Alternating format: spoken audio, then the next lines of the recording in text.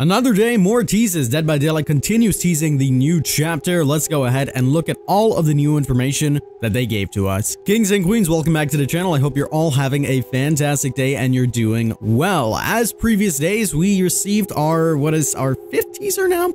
More things from Dead by Daylight. They are continuing to stick with this real life kind of situation with a back and forth of people messaging. We've seen previously they were on the maps. We've seen audio recordings from iPhones. We've seen Gmails uh, emails. Now it seems that we're getting some text from what seems like Messenger. So let's go ahead and jump on into all of the details. So we have a group text chat, which is called the Movie Crew.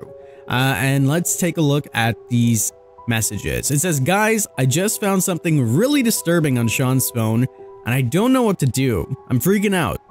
He went camping with his friends this weekend. I wanted to pick him up this morning, but after an hour of waiting around, he still wasn't there. I kept texting and calling him and he wasn't answering, so eventually I got fed up and started walking up trail to try and find him. I didn't find him, but I found his phone and flashlight by the path. Someone replies and they say WTF. They then reply and say, I was freakish out. I'm sorry, I'm shaking so much, I'm typing so rough. Someone else replied, Are you okay?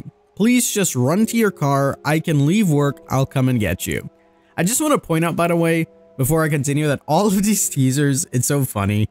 Someone pointed out, it's like, call cops? No, let's make a blog. it's, it's really funny. Let's continue. It says, I want to check his phone to see if I could find info there about where he might be or what might have happened. When I unlocked it, the camera roll was open. They then show a screenshot of the camera roll, and it says, what do I do? Someone replied, are you in your car? Go right now. Lock the doors, and I'll be there in five. I'm on the way. We then see the camera roll and it starts off casual. You know, we see a picture of friends hanging out at the, all the way at the top drinking. We see a bouquet of lights. We then see just a regular bear we see a dog, uh, more friends. Then it seems that they start their hiking trip. They're walking along. They're looking at the sky. They then have some bottles of some sort. Then we see a campfire, which ironic, right? And then the last two images are the ones that really stand out. These two images seem like it's the new killer in Dead by Daylight, specifically some really gross fingernails. That's what it's looking like, at least to me.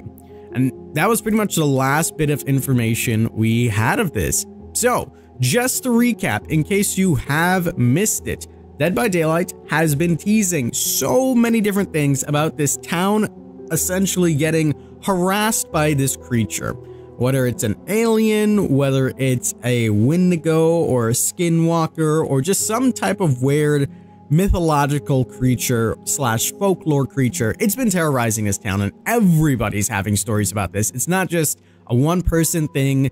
Everybody in this town has been hearing, seeing, or feeling this new killer.